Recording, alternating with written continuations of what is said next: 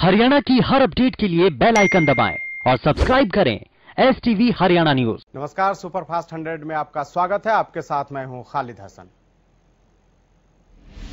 किसानों का आंदोलन 118वें दिन भी जारी रहा और लगातार 118 दिनों से किसान दिल्ली की सीमाओं पर बैठे हैं कृषि कानूनों के विरोध में किसानों का धरना लगातार जारी है दिल्ली बॉर्डर पर आज किसान शहीदी दिवस मना रहे हैं इसी के साथ किसान 26 मार्च को भारत बंद करेंगे किसानों की ओर से भारत बंद को सफल बनाने के लिए सभी से सहयोग मांगा जा रहा है किसानों की ओर से गांव में बैठक शुरू कर दी गई है संयुक्त किसान मोर्चा के नेता सोमवार को सोनीपत में खरखौदा और आसपास के क्षेत्र में बैठक करने पहुंचे और उन्होंने वहां लोगों से भारत बंद में सहयोग मांगा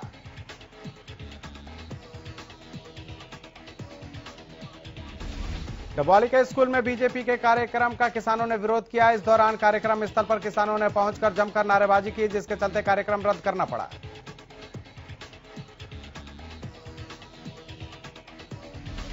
उचाना में किसानों ने डिप्टी सीएम दुष्यंत चौटाला के कार्यालय का घेराव किया और कार्यालय में पहुंचकर डिप्टी सीएम के पर्सनल सेक्रेटरी जगदीश सिंह को काले झंडे दिखाए जगदीश सियाग उचाना मंडी में कार्यकर्ताओं की मीटिंग के लिए पहुंचे थे लेकिन किसानों ने घेराव कर बीजेपी और जेजेपी नेताओं के खिलाफ नारेबाजी की टोहाना में आयोजित एक रक्तदान कार्यक्रम में पहुंचे विधायक देवेंद्र सिंह बबली को किसानों के विरोध का सामना करना पड़ा जिसके चलते विधायक को कार्यक्रम को बीच में छोड़कर वापस जाना पड़ा इस दौरान संयुक्त किसान मोर्चा के बैनर तले किसानों ने कार्यक्रम स्थल पर पहुंचकर विधायक के खिलाफ नारेबाजी की किसानों ने कहा कि विधायक देवेंद्र सिंह बबली ने विधायक को विधानसभा में लाए गए अविश्वास प्रस्ताव के विरोध में वोट डालकर उनके साथ धोखा किया है गृह मंत्री अनिल विज ने महाराष्ट्र के मुख्यमंत्री उद्धव ठाकरे पर 100 करोड़ के उगाही कांड को लेकर निशाना साधा है अनिल विज ने कहा कि महाराष्ट्र में 100 करोड़ उगाही का कांड बिना मुख्यमंत्री की जानकारी के नहीं हो सकता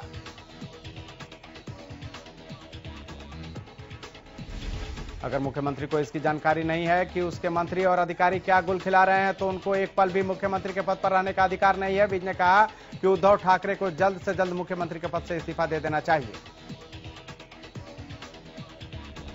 वहीं कोरोना वैक्सीन को लेकर प्रदेश में चलाई जा रही ड्राइव पर बीज ने कहा कि हरियाणा में हर सप्ताह के सोमवार और मंगलवार को मेगा वैक्सीनेशन ड्राइव चलाया जा रहा है इस अभियान के तहत सोमवार को प्रदेश में करीब ढाई लाख लोगों को कोरोना वैक्सीन लगाई गई है जो अपने आप में एक रिकॉर्ड है हरियाणा के परिवहन मंत्री मुलचंद शर्मा ने बल्लभगढ़ नगर निगम का औचक निरीक्षण किया इस दौरान जनता से जुड़ी समस्या और निगम में व्याप्त भ्रष्टाचार पर अधिकारियों और कर्मचारियों को जमकर लताड़ लगाई हरियाणा के परिवहन मंत्री मुलचंद शर्मा ने अधिकारियों और कर्मचारियों को अल्टीमेटम देते हुए कहा कि काम न करने वाले फरीदाबाद छोड़ दें परिवहन मंत्री मुलचंद शर्मा ने कहा कि अधिकारी और कर्मचारी निष्ठा से काम करें जनता को कोई परेशानी न आए वहीं उन्होंने क्षेत्रीय एवं कर अधिकारी को दिशा निर्देश दिए हैं कि वे प्रॉपर्टी आईडी को समय पर बनाकर दें अपने बयानों को लेकर सुर्खियों में रहने वाले केंद्रीय राज्य मंत्री रतनलाल कटारिया एक बार फिर सुर्खियों में आ गए हैं अंबाला में कई बार किसानों के विरोध का शिकार हो चुके हैं रतनलाल कटारिया एक बार फिर अंबाला पहुंचे जहां उन्होंने प्रेस कॉन्फ्रेंस में किसानों के मुद्दे पर प्रतिक्रिया दी कटारिया ने हाथ जोड़ते हुए कहा कि किसान हमारे भगवान हैं उन्होंने कहा कि जब से वो मंत्री बने हैं तब से किसान उनके पीछे पड़े हैं और किसान आंदोलन के चलते तो वो हर कार्यक्रम में काले झंडे के साथ विरोध किया जा रहा है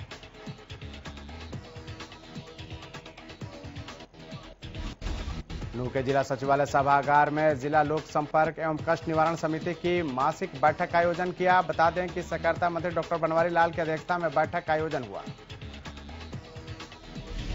बैठक में सुनवाई के लिए कुल 15 परिवाद रखे गए इनमें तीन मामले पिछली बैठक से लंबित थे और 12 नए मामले रखे गए जन समस्याओं की सुनवाई करते हुए सहकारिता मंत्री डॉक्टर बनवारी लाल ने कहा कि कष्ट निवारण समिति की बैठक में जो भी विवाद रखे जाते हैं उन विवादों के समाधान को सही अधिकारी प्रस्तुत करें सिरसा के सुरखाव चौक स्थित महाराजा अग्रसेन पार्क में सवारिया संघ होली महोत्सव का आयोजन किया गया जिसमें श्री बाबा ताराजी कुटिया के मुख्य सेवक गोविंद कांडा ने ज्योत प्रज्वलित की इस दौरान भजन गायक पंडित परीक्षित शर्मा ने श्री खाटू श्याम बाबा की महिमा का गुणगान किया कार्यक्रम सवारिया संघ होली महोत्सव में सबसे पहले पंडित कमल शर्मा और पंडित परीक्षित शर्मा ने पूजन संपन्न करवाया जिसके बाद श्री बाबा ताराजी कुटिया के मुख्य सेवक गोविंद कांडा ने विधि विधान से पूजन किया इस मौके पर गोविंद कांडा ने कहा कि सिरसा की भूमि संतों महात्माओं पीरों फकीरों की भूमि है वहां के लोग भाग्यशाली हैं कि उन्हें इस पवित्र भूमि पर रहने का मौका मिला है बता दें कि उन्होंने महाराजा अग्रसेन सेवा दल को अपनी ओर से इक्कीस हजार रुपए के सहयोग राशि भी प्रदान की प्रदेश में सोमवार देर रात बारिश के साथ ओलावृष्टि हुई इससे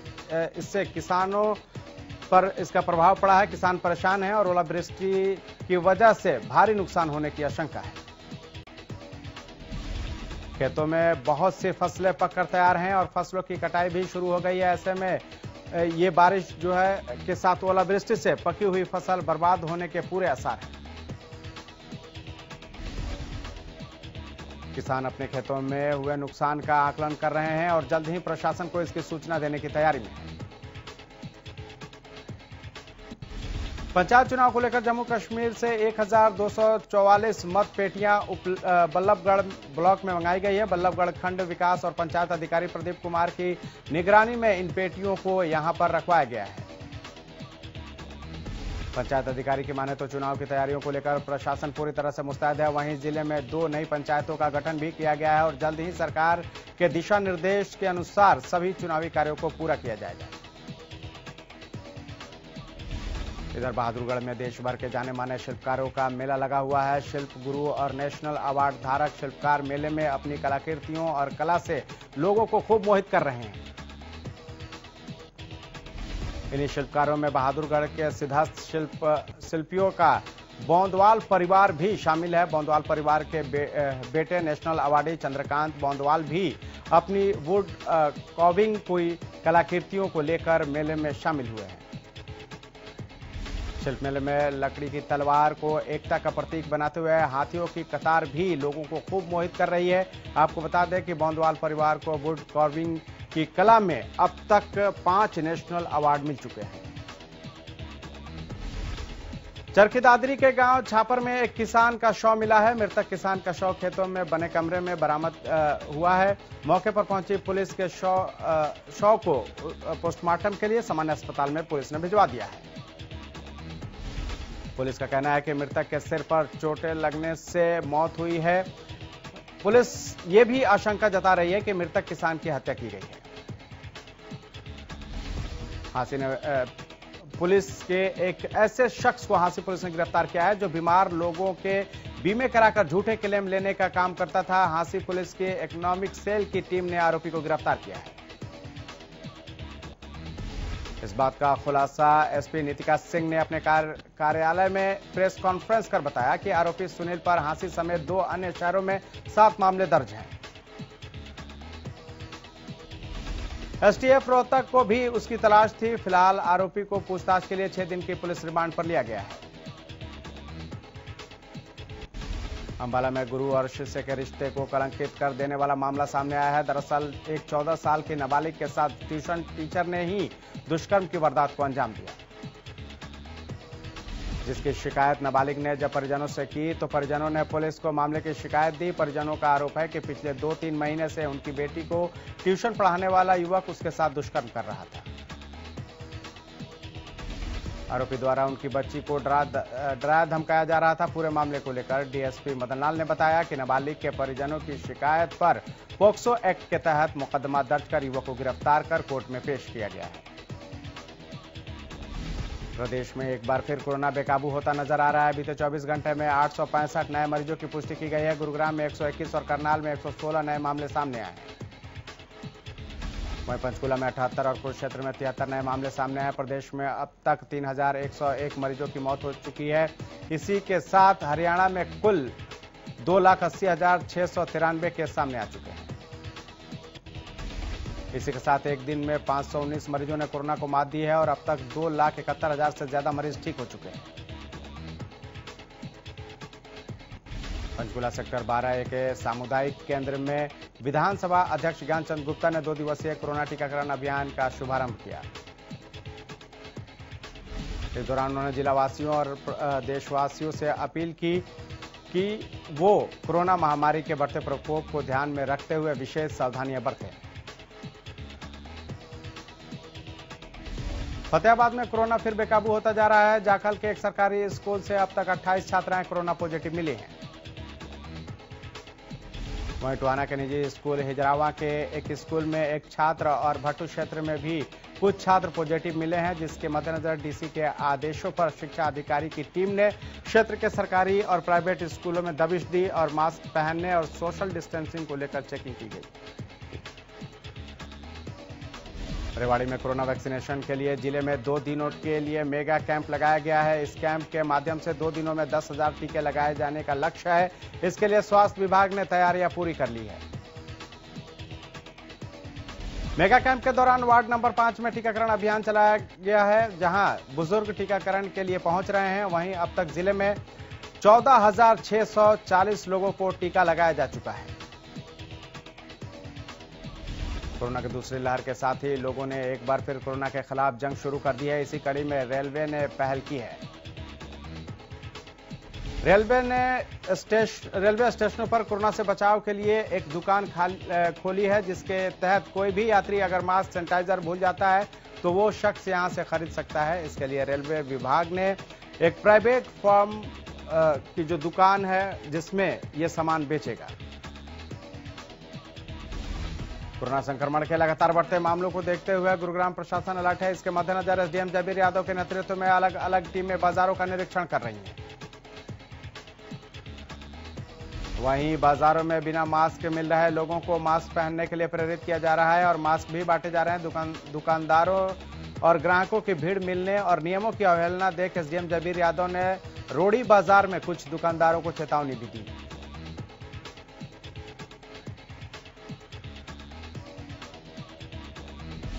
कोरोना की तीसरी लहर देश में शुरू हो चुकी है हरियाणा प्रदेश भी इससे अछूता नहीं है ऐसे में जहां आम जनता को सतर्क रहने की जरूरत है वहीं स्वास्थ्य विभाग ने भी इस तीसरी लहर से लड़ने के लिए कमर कस ली है रोहतक पीजीआई ने अपनी तैयारियों का रिव्यू शुरू कर दिया इसी कड़ी में पंडित भगवा भागवत दयाल शर्मा स्वास्थ्य विश्वविद्यालय के कुलपति डॉक्टर ओपी कालरा ने दावा किया है कि इस तीसरी लड़ाई को लड़ने के लिए उनकी तैयारियां पूरी हैं जाखल में कोरोना का कहर थमने का नाम नहीं ले रहा है राजकीय वरिष्ठ माध्यमिक विद्यालय की 16 छात्राओं की रिपोर्ट पॉजिटिव आने के बाद अब 12 और छात्राओं की रिपोर्ट कोरोना पॉजिटिव आई है जिसके चलते स्वास्थ्य विभाग पूरी तरह से सतर्क हो गया है स्वास्थ्य विभाग के निर्देशों के बाद स्कूल को दो दिन के लिए बंद कर दिया गया है वहीं इन बच्चों के कंटेक्ट में आने वाले सभी लोगों की सैंपलिंग करवाई जा रही है कोरोना वायरस की लहर एक बार फिर अपना सिर उठाकर लोगों को अपनी चपेट में ले रही है देश के कई राज्यों में संक्रमण की दर दर जो दरें हैं वो लगातार बढ़ रही हैं बढ़ते आंकड़ों ने सरकार और अधिकारियों के माथे पर चिंता की लकीरें खींच दी है कोरोना वायरस के केसों में हो रही बढ़ोतरी से स्वास्थ्य विभाग अलर्ट मोड में है वहीं पानीपत के निजी स्कूल के एक ही कक्षा के आठ बच्चे पॉजिटिव मिले हैं जिसके बाद स्कूल को एक अप्रैल तक बंद कर दिया गया है chief medical officer doctor Santlal Verma ने जानकारी देते हुए बताया कि लगातार लोगों से अपील की जा रही है कि कोरोना वायरस से बचने के लिए मास्क का लोग इस्तेमाल करें कैथल के गांव गुहाड़ा में मिड डे मील घोटाले को लेकर ग्रामीणों ने स्कूल के गेट पर ताला जड़ दिया परिजनों का आरोप है कि न तो बच्चों को मिड डे मील मिल रहा है और न ही उनके खाते में कोई पैसे आए वहीं जब उन्होंने अपने स्तर पर जांच की तो पता लगा कि दो से तीन बार खातों में नकद पैसे खातों से निकलवाए गए हैं ग्रामीणों का आरोप है कि कुछ पैसे अध्यापक ने अपने अकाउंट में डलवाए हैं जिसकी जांच के लिए अधिकारियों से वो मिल चुके हैं पर कोई कार्रवाई नहीं हुई है इसलिए मजबूरन उन्हें स्कूल में ताला लगाना पड़ा असंत के पूरा गांव में कोरोना वैक्सीन का शिविर लगाने गई टीम को ग्रामीणों के विरोध का सामना करना पड़ा वैक्सीनेशन की विश्वसनीयता पर गंभीर आरोप लगाते हुए ग्रामीणों ने स्वास्थ्य विभाग की टीम को बैरंग लौटा दिया ग्रामीणों ने बताया कि उन्हें वैक्सीन की विश्वसनीयता पर संदेह है और पहले भी लोग टीके के गंभीर परिणाम झेल चुके हैं ग्रामीणों ने आरोप लगाते हुए कहा कि सरकार जानबूझकर किसान आंदोलन को कमजोर करने के लिए हरियाणा और पंजाब में टीकाकरण का अभियान चला रही है ग्रामीणों ने कहा कि वो अपने गांव में टीका नहीं लगवाने देंगे मामले की सूचना मिलते ही कार्यकारी खंड चिकित्सा अधिकारी डॉक्टर जयपाल चहल पुलिस बल के साथ मौके पर पहुंचे और ग्रामीणों को समझाने की कोशिश की लेकिन ग्रामीण नहीं माने और टीम को वापस लौटना पड़ा बरवाल के खरकड़ा गांव में ग्रामीणों ने आंगनबाड़ी सेंटरों के खिलाफ प्रदर्शन किया इस दौरान ग्रामीणों ने आंगनबाड़ी केंद्रों पर ताला जड़ दिया गांव के लोगों ने बताया कि गांव में पांच आंगनबाड़ी सेंटर हैं पांचों आंगनबाड़ी सेंटरों में बच्चों को राशन नहीं दिया जाता ग्रामीणों ने आरोप लगाया आंगनबाड़ी सेंटरों में राशन आता है लेकिन राशन को दुकानदारों को भेजा भेज दिया जाता है बहादुरगढ़ में नेशनल हाईवे नंबर नौ पर किसानों ने जाम लगाया किसान रोहतक जाने वाली सड़क पर मोर्चा खोलकर बैठ गए और बिजली काटे जाने का विरोध कर प्रदर्शन किया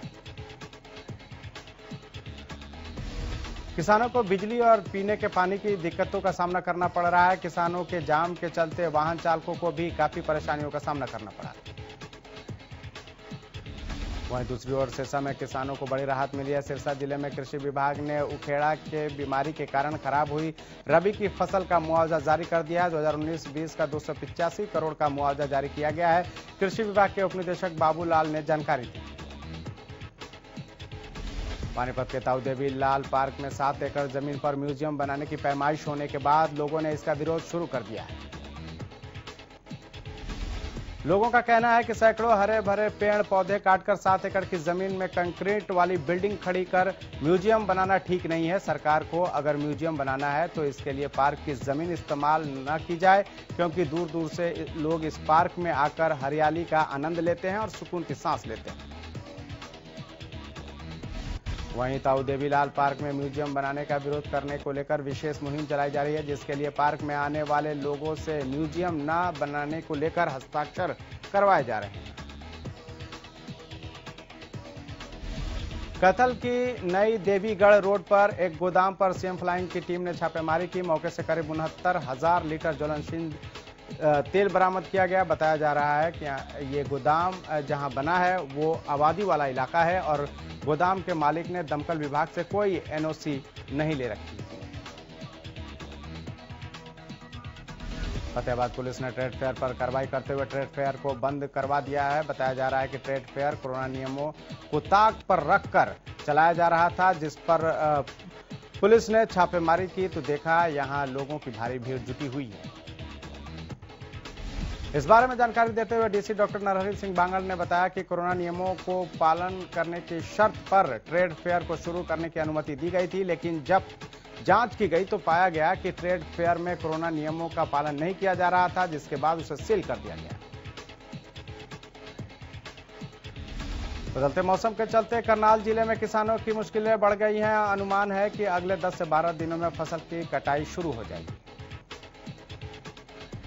किसानों का कहना है कि भगवान न करे अगर बारिश और ओलावृष्टि हो गई तो उनकी खेतों में खड़ी हुई फसल पूरी तरह से खराब हो जाएगी किसान फसल से ही अपने घर का गुजर बसर करते हैं अगर फसल भी खराब हुई तो उन्हें काफी दिक्कतों का सामना करना पड़ेगा पलवल के नगला सानपुर गांव में पुलिस टीम पर पथराव करने के मामले में पुलिस ने दो और आरोपियों को गिरफ्तार कर लिया है मामले में पुलिस छह आरोपियों को पहले ही गिरफ्तार कर जेल भेज चुकी है गुआना सिटी थाना पुलिस को एटीएम कार्ड बदलकर पैसा निकालने वाले शातिर चोर को गिरफ्तार करने में कामयाबी हासिल हुई है पुलिस को सूचना मिली थी कि एक शख्स एटीएम कार्ड बदलकर पैसे निकालने के फिराक में है वो पहले भी पैसे निकाल चुका है इस सूचना के आधार पर पुलिस रोहतक बाईपास पर पहुंची जहां पर शातिर चोर को गिरफ्तार किया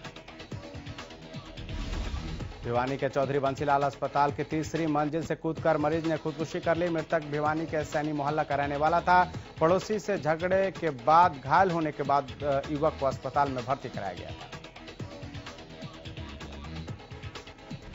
भिवानी सिटी पुलिस के एसएचओ संदीप कुमार का कहना है कि मामले में जांच चल रही है जांच के बाद ही खुदकुशी की असली वजह का पता चलेगा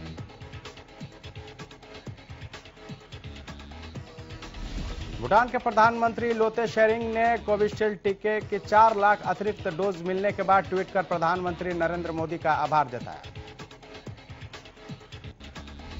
अमेरिका में कोलोराडो के एक सुपरमार्केट में भीड़ के बीच एक बंदूकधारी ने जमकर फायरिंग की बोल्डर पुलिस ने इसे लेकर लोगों को अलर्ट किया है और कहा है कि कोई इस इलाके में न आए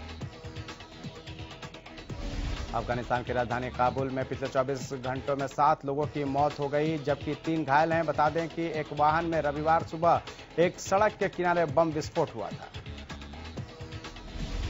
सरकारी तेल कंपनियों की ओर से लगातार चौबीसवें दिन भी पेट्रोल और डीजल के कीमतों में किसी तरह की बढ़ोतरी नहीं हुई है आज भी पेट्रोल डीजल के दाम स्थिर हैं सोने और चांदी की कीमत में गिरावट दर्ज की गई है राष्ट्रीय राजधानी में आज सोना तीन सौ दो रुपए गिरकर चौवालीस हजार दो सौ उनहत्तर रुपए प्रति दस ग्राम पर पहुंच गया चांदी में भी भारी गिरावट देखने को मिली है चांदी पंद्रह सौ तैंतीस रुपए गिरकर पैंसठ हजार तीन सौ उन्नीस रुपए प्रति किलोग्राम पर पहुंच गई है टीम इंडिया के कप्तान विराट कोहली ने आउट ऑफ फॉर्म चल रहे केएल राहुल का एक बार फिर बचाव किया है कोहली ने कहा कि जब लोग किसी खिलाड़ी के खराब फॉर्म की बात करते हैं तो मुझे एक चीज समझ आती है कुछ लोग कहेंगे लोगों का काम है कहना दो साल में लगातार चौथा मौका है जब युवा सोनम मलिक ओलंपिक कांस्य पदक विजेता साक्षी मलिक पर भारी पड़ी हरियाणा की सोनम ने अपने ही राज्य की साक्षी को आठ सात के नजदीकी अंतर से हराकर एशियन ओलंपिक क्वालिफायर और सीनियर एशियन कुश्ती चैंपियनशिप का टिकट हासिल किया अनिल लखेड़ा के रजत पदक की, की मदद से भारत ने अल एन दो विश्व चैंपियंस खेल निशानेबाजी में शीर्ष तीन में जगह बना रखी है भारत एक स्वर्ण एक रजत और एक कांस्य पदक के साथ तीसरे स्थान पर है तेलंगाना में चल रहे सैतालीसवें जूनियर राष्ट्रीय कबड्डी चैंपियनशिप के दौरान एक बड़ा हादसा हो गया सोमवार को चैंपियनशिप के दौरान दर्शकों से भरे स्टेडियम की गैलरी ढह गई जिसकी वजह से वहां मौजूद बहुत लोग घायल हो गए भारतीय टीमों को विदेश में टूर्नामेंट खेलने की अनुमति मिलने के बाद अब तक का सबसे बड़ा कोरोना संक्रमण का मामला सामने आया है तुर्की में बोस्फोरस टूर्नामेंट खेलने गई 20 सदस्यीय भारतीय मुक्केबाज टीम के 8 सदस्य कोरोना संक्रमित पाए गए दिवंगत अभिनेता सुशांत सिंह राजपूत की फिल्म छिछोरे को सर्वश्रेष्ठ फिल्म का राष्ट्रीय पुरस्कार मिला है बेटे की फिल्म को मिले इस सम्मान से उनके पिता के के सिंह ने कहा कि उन्हें आज अपने बेटे पर बहुत गर्व हो रहा है कंगना रनौत को राष्ट्रीय पुरस्कार से नवाजा गया है उन्हें बेस्ट एक्ट्रेस का खिताब मिला है कंगना को ये पुरस्कार फिल्म मणिकर्णिका और पंगा के लिए मिला है रणवीर कपूर मनोज वाजपेयी समेत कई कलाकारों के बाद अब कार्तिक आर्यन भी कोरोना वायरस की चपेट में आ गए हैं इस बात की जानकारी अभिनेता ने खुद अपने सोशल मीडिया अकाउंट पर साझा की है दिग्गज लेखक और फिल्मकार सागर सरहदी का निधन हो गया है वो लंबे समय से बीमार चल रहे थे सागर सरहदी ने नूरी बाजार कभी कभी सिलसिला चांदनी और दीवाना जैसे फिल्में लिखी हिंदी फिल्म भोसले के लिए मनोज बाजपेयी सर्वश्रेष्ठ अभिनेता चुने गए हैं साथ ही धनुष ने भी बेस्ट एक्टर का पुरस्कार जीता उन्हें यह पुरस्कार उनकी तमिल फिल्म असुरन के लिए मिला है